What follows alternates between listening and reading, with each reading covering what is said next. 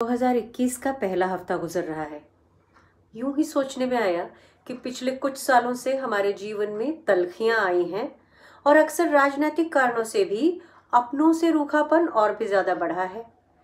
अरसे से हमारे अंदर तक ये गहरे बिठाला जा रहा है कि हम प्रताड़ित लोग हैं और हमें 300 वर्ष पुराने इतिहास का बदला वर्तमान लोगों से लेना है।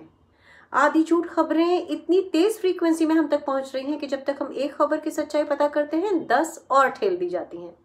जैसे कई बार बोला गया झूठ सच लगने लगता है, वैसे ही निरंतर व्हाट्सएप या फेसबुक पोस्ट और अनगिनत वीडियोस की आवृत्ति से हम झूठों को सच मानने लगे हैं। चाहे वो 2014 से भी पहले से प्रचारित नोस्ट्रोटमस की भविष्यवाणी का झूठ हो या गांधी नेहरू के बारे में एनेक्डोट्स हो। मैंने ये सब खंगालते हुए पाया कि सत्ता अपनी लाइन लंबी करने के लिए पहले के पुरुषार्थियों को जड़ों से काट रही है। और हम न जाने किस उन्माद में उसके हथियार बन रहे हैं।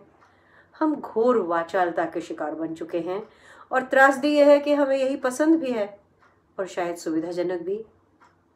जैसा मैंने कहा कि अभी तो साल शुरू ही हुआ है। एक पॉज लेकर पीछे देखिए ना। एक उल्लसित भारत, एक उन्मादित भारत बन रहा है। राजनीति हमें खेमों में खड़ा कर रही है।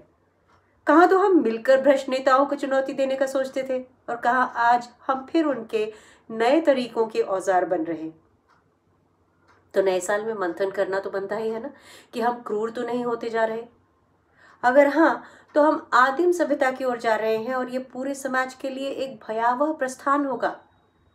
सोचिएगा ज़रूर, क्योंकि जब तक हम सोच सकते हैं, तब तक ही हम ज़िंदा कौम हैं। जय हिंद।